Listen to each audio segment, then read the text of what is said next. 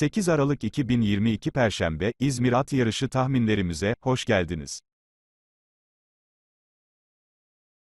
Öncelikle, yayınlarımızı takip edip, videomuzun altında bulunan teşekkür butonu ile bize desteklerini gösteren herkese, şimdiden teşekkür ederiz. Ayrıca bize destek olmak isteyenler, katıl butonu ile dilediği paketi seçerek kanalımıza katkıda bulunabilirler. Emeğe saygı duyarak desteklerini esirgemeyen herkese teşekkür ederiz.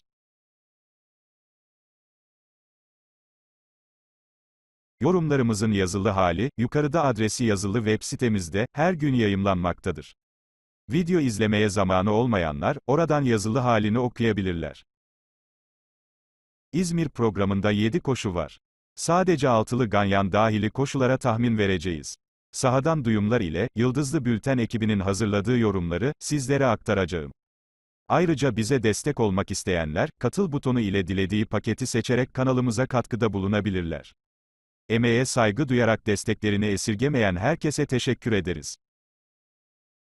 Yorumlarımızın sonunda, yine geçmişten önemli koşulardan birini paylaşacağız. Nostalji yaşamak isteyenler, videoyu bitimine kadar izleyebilirler. Şimdi tahminlerimize geçelim. Birinci ayak. 4 ve yukarı yaşlı Arapların, Handikap 22 yarışı, 2100 metre kum pistte koşulacaktır. Bu koşuda iki at takı değişikliği yaptı. 1 numaralı Anayurt ve 3 numaralı Sukaya, takı değişikliği yapan isimlerdir. Bu koşu şartlarının, geçmiş zamanlardaki sonuçlarını inceledik. Çok yüksek ihtimalle, AGF oranlarındaki ilk 4 attan biri kazanıyor. Bu koşunun en süratli atı, 8 numaralı Dirlik'tir. Dirlik, son yarışında yine benzer bir grupta start almıştı. Liderliği baştan almadan yarışmasına rağmen, son 600 civarı yarışı hızlandırıp liderliği aldı. Düzlükte farkı açarak çok rahat ve diri görüntüsü ile kazanacakmış izlenimi verdi. Fakat son metrelerde güçlü rakibine fotoda geçildi.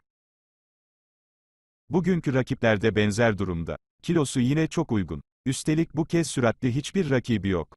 Tempoyu belirleyip, çıktığı gibi bitirmesi, normal sonuç olacaktır. Biz ilk sıradan yazalım.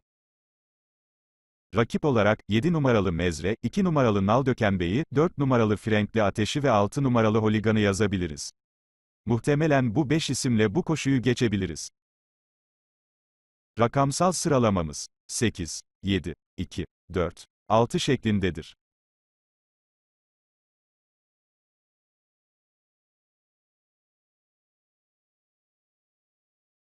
İkinci ayak.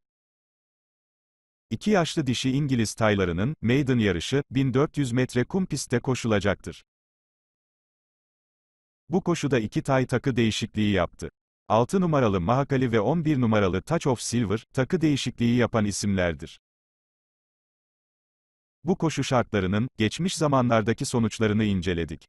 Çok yüksek ihtimalle birinci veya ikinci atlar kazanıyor. Çok nadir olarak, %6 AGF oranına sahip olan atlarında kazandığını söyleyebiliriz. Bu koşuda hafif süratli birkaç isim var. Taylar'ın yarış stilleri oturmadığı için, farklı taktikle koşan isimler, koşunun kaderini de değiştiriyorlar. 1 numaralı Crazy Horse, 4 numaralı Fast Dancing Girl, 5 numaralı Honey Paradise ve 6 numaralı Mahakali, hafif süratli taylardır. Bu taylara başka isimler de eşlik ederse, süratli bir tempo izleyebiliriz. 7 numaralı Midnight Sky ve 11 numaralı Touch of Silver, startı hafif ağır alan ve yarışı gerilerde takip eden ağır kanlı atlardır. Ancak mücadele özellikleri yüksek ve form durumlarının iyi olduğunu biliyoruz. Süratli bir tempoda, yerinde bir sprint ile kazanabilirler. İlk iki sıradan bu tayları yazalım. İstikrarlı isim 9 numaralı Primavera, beklentilerin yüksek olduğu 6 numaralı Mahakali, yarışları çok iyi olan 2 numaralı Dubai Express ve Ali Yıldız idaresinde ara sonrası iyi koşmasını beklediğimiz 1 numaralı Crazy Horse'u yazarak bu ayağı geçelim. Bu koşudaki rakamsal sıralamamız 7, 11, 9, 6, 2, 1 şeklindedir.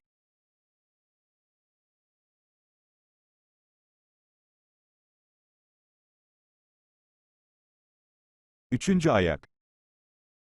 İki yaşlı İngiliz taylarının, şartlı 4 yarışı, 1600 metre kum pistte koşulacaktır.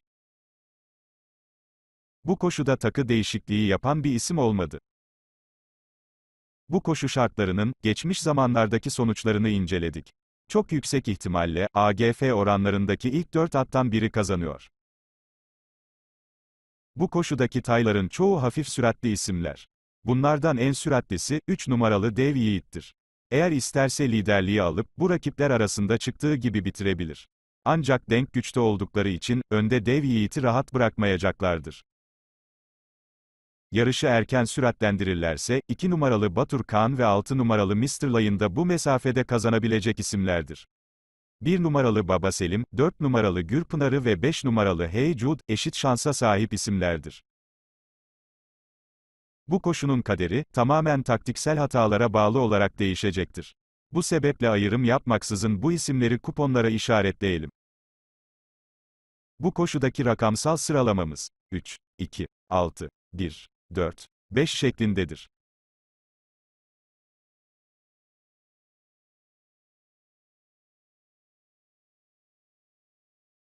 Dördüncü ayak. 3 ve yukarı yaşlı İngilizlerin, kısa vade altı yarışı, 1600 metre kum pistte koşulacaktır. Bu koşuda takı değişikliği yapan bir isim olmadı. Bu koşu şartlarının, geçmiş zamanlardaki sonuçlarını inceledik. Çok yüksek ihtimalle, AGF oranlarındaki ilk 4 attan biri kazanıyor. Bu koşuda iki süratli isim var. 1 numaralı Obrada ve 2 numaralı Adem Ağa, genelde liderliği alarak yarışan isimler. Obrada, kendinden daha süratli ve ısrarcı bir at olduğunda, onu sıkıştırmıyor ve yarışı süratlendirmiyor. Genç at Adem Ağa ise, genelde liderliği istiyor fakat, çok aşırı süratli tempolara da girmiyor. Çünkü bekleyerek de başarılı koşan bir isim. Biz Adem Ağa'yı, iyi form durumu ve genç at olmasından dolayı ilk isim olarak yazalım. Bugün Ali Yıldız idaresinde, Obrada tarafından sıkıştırılmadan tempoyu belirlerse, çıktığı gibi bitirebilir.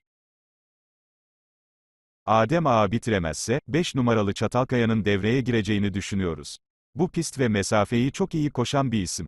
Mutlaka mücadelenin içinde kalıyor ve adını duyuruyor. Rakiplerde uygun olduğu için, kazanma ihtimalini yüksek görüyoruz. Bu iki ismi çok ön planda tutuyoruz. Rakiplerinin bazı eksik yönleri var. Dolayısıyla iki at dışına çıkma ihtimalini zayıf görüyoruz. 2 ve 4 sıralaması ile bu koşuyu geçebiliriz.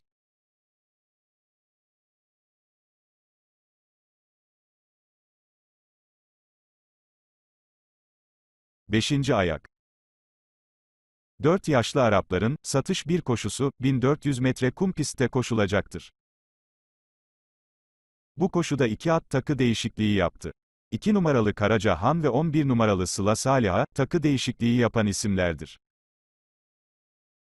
Bu koşu şartlarının, geçmiş zamanlardaki sonuçlarını inceledik. Genel olarak, birinci ve ikinci atlar kazanıyor. Bu koşuda liderliği, 2 numaralı Karaca Han alacaktır. Kendisi kadar süratli bir rakibi yoktur. 7 numaralı Fırtına, bazen liderliği alarak yarışan bir isim. Fakat son zamanlarda startı hafif ağır aldığı için, önü kapanıyor ve orta sıralarda kalıyor. Bu şekilde bile başarılı koşabiliyor. Bizce 7 numaralı fırtına için bu rakipler çok uygun. Form durumu olarak çok iyi gözüktüğünü söyleyebiliriz. Bu atın kazanması için yapması gereken, yarışı önlere yakın takip etmek ve trafik sorunu yaşamamaktır. Özellikle düzlüğe yakın önünü boşaltarak sprint başladıysa, rakiplerine geçmiş olsun diyebiliriz. 7 numaralı Fırtına, çok güçlü bir rakibinin olmadığı bu koşuyu kazanmasını bilecektir. Günün bankosu olarak yazılabilir.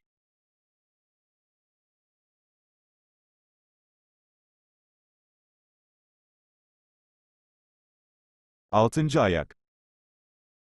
İki yaşlı dişi İngiliz taylarının, maiden yarışı, 1400 metre kum pistte koşulacaktır.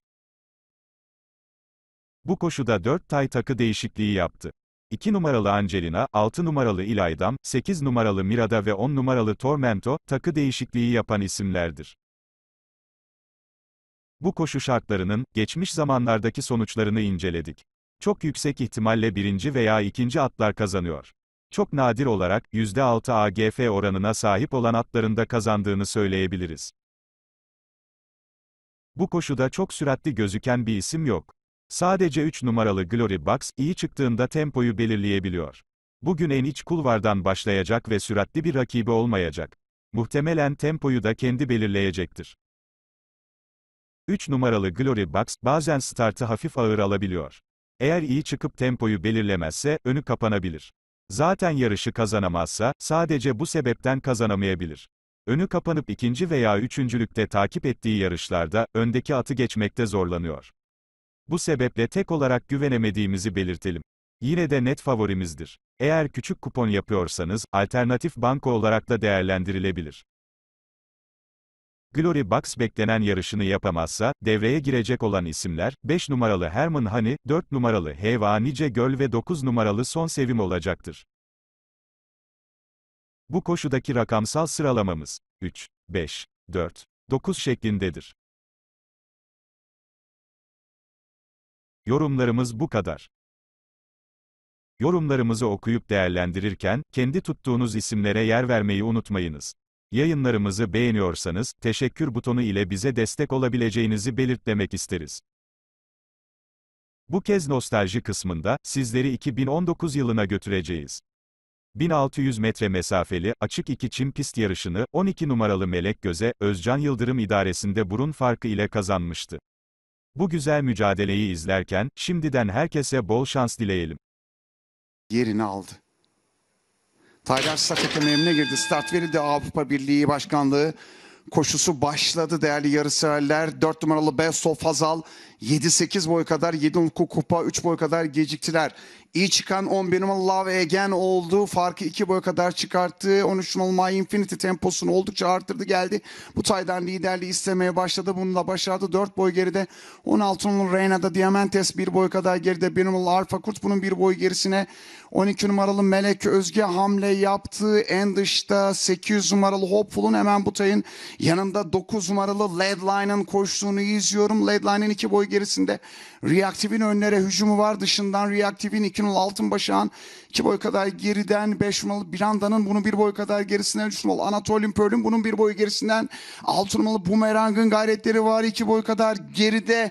10 numaralı Life is a Party sırasıyla koşunun son 600'üne doğru geliyoruz. Bir buçuk boy farklı liderliği koruyor. My Infinity liderliği kapmıştı.